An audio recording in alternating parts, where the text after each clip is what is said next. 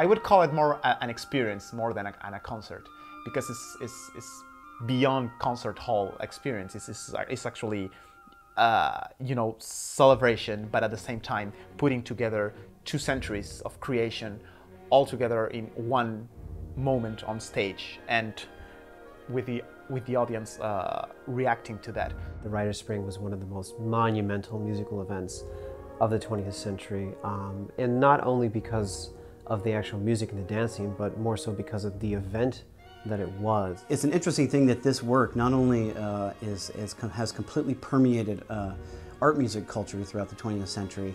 Anybody on either side of the fence in terms of, of uh, uh interest in rhythm, interest in ritual, interest in uh, uh, interesting montage, film, film composers and film enthusiasts have been able to get engage the work.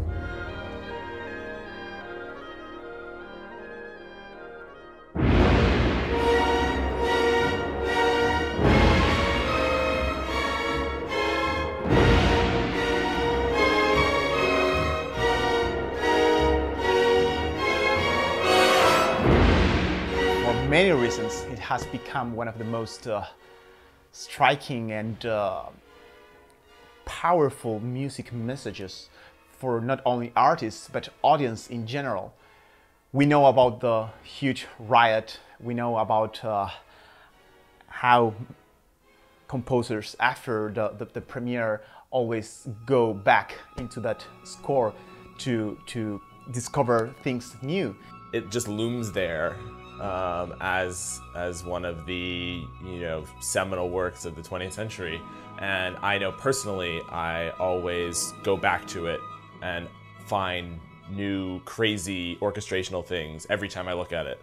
It cannot be denied that Rite of Spring was one of the most influential pieces to me, as well as to other musicians and music fans.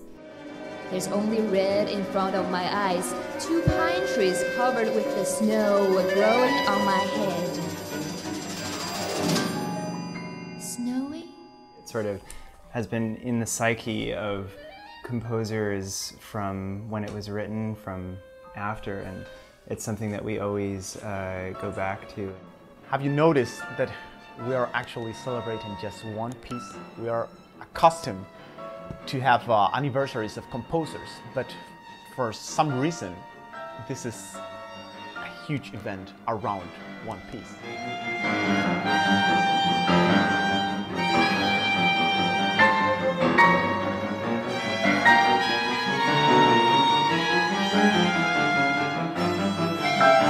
We have an opportunity to write another piece of music in response to this. Um, you know, we have the opportunity to be a part of an event of equal scale as what the Rite of Spring was all the way back in 1913. That's why bringing this group of composers of a new generation and commission this unique work that will be an, uh, a commemorative work, but at the same time uh, a chance to work all together is something that ri rise my enthusiasm and to have the chance to look at this score that it was written because of this commemoration, but at the same time, we, we have in, in, in those pages, in the, this sheet of music, you know, like some different angles, point of view of such a talented group of young composers.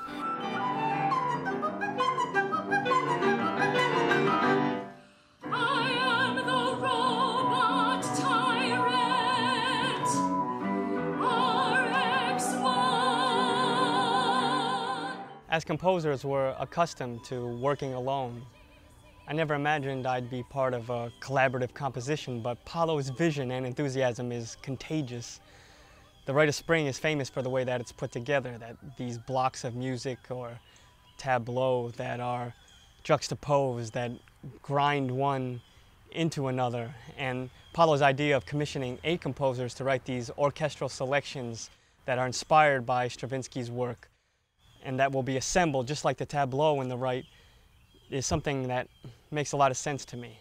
how often do you get to write for a 100 piece orchestra? An orchestra the size of the one that Stravinsky was using, you know, I mean, eight horns. Who can argue with that? When artists are supposed to digest and res- respond to something so monumental in, uh, you know, in world culture, and you aren't able to uh, respond to it in due scale, then uh, that, there's something really enticing about this opportunity.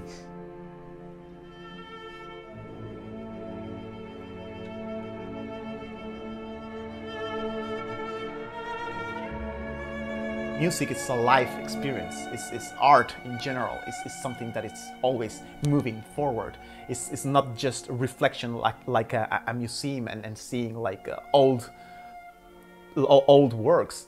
It's always to find new ways to keep in the, in the path of creation. In this particular moment that we are celebrating such an important event in musical history, I think is, is, is what, what makes very, very special and unique this concert.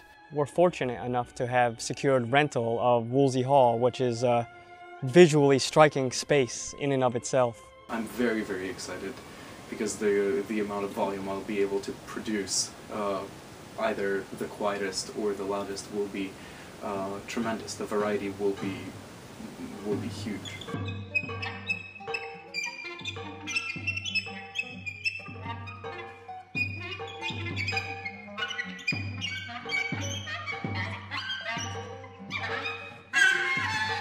We have the opportunity to do something equally as monumental. We don't want this to just be another concert work. We don't want this to be just another presentation, an, just another playing of the Rite of Spring, but really to create something new and different, to create a new sort of uh, concert, entertainment, musical experience.